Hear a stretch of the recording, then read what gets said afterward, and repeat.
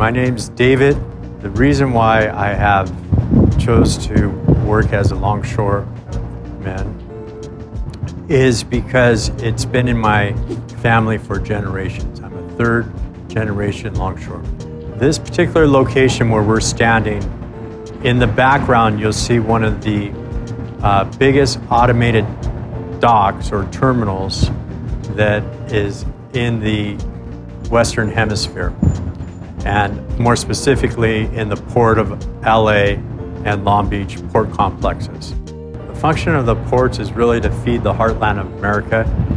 We um, essentially, at some point, have touched either a container or commodity that um, and food that uh, passes through here and is distributed through a network of rail, uh, Teamster trucks, and that gets uh, distributed to your local markets, your local uh, warehouses, and then they become uh, retail and purchase. I think the biggest danger when you look behind me, you see the scale and the magnitude of uh, all the equipment, the containers that that are being lifted within close proximity to the human body and to our workforce are somewhere up in the neighborhood of five to almost 30 tons at times.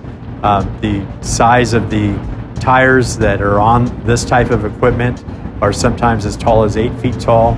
And so the, the physical environment with all the equipment around is very unforgiving. I think that there is, um, that the work that's done here by, by our thousands of longshore members is often overlooked